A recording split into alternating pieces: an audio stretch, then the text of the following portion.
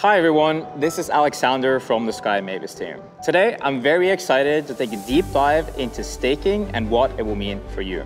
So let's start with the basics. First thing you need to know is that staking means that you are delegating your tokens to one of the validators on the network. There are trusted validators and there are standard validators. Let's take a look into the staking platform.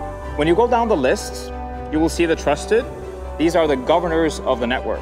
They are the ones that are securing the bridge, among other things, and also making decisions for the future. Then you have the standard validators. These are the validators that are ensuring that the blockchain is producing blocks as they should, and they're also verifying that the bridge is functioning as it should.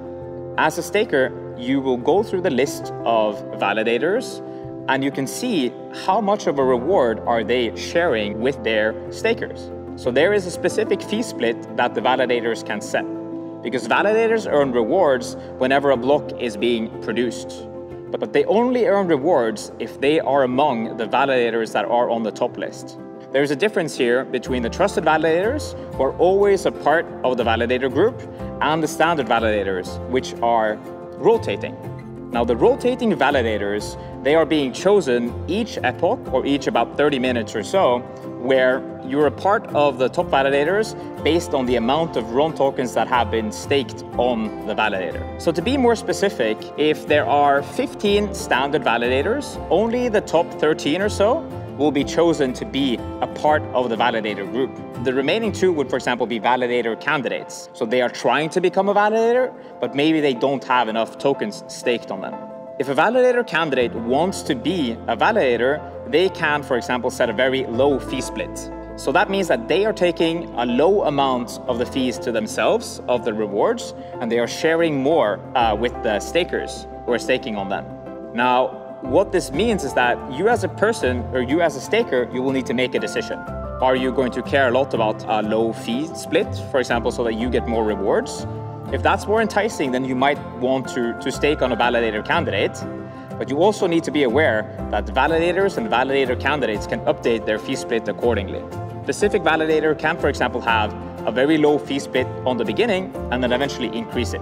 We will be working on a notification system there so that you can be aware when changes are being made that affect your potential rewards.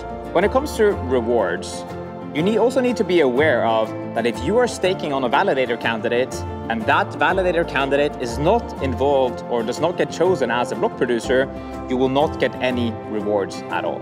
When we launched Ronin initially, what we needed to solve was the problems for Axie. You know, some decisions were made really fast, and we always had this idea that Ronin Network would evolve over time.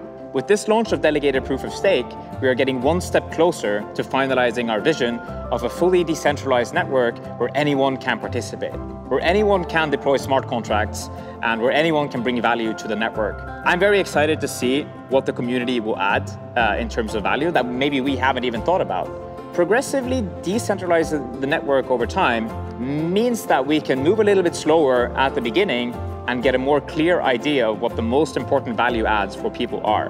When you have a very open network, for example, initially, there are, there's a bigger chance that the blocks are being filled up by things that are not very relevant, for example, to game developers. And that's one thing that we've been very careful with. I think as Ronin network scales, the chain will be even more reliable, it will be faster, and it will scale so that uh, anyone in the world will be able to use it.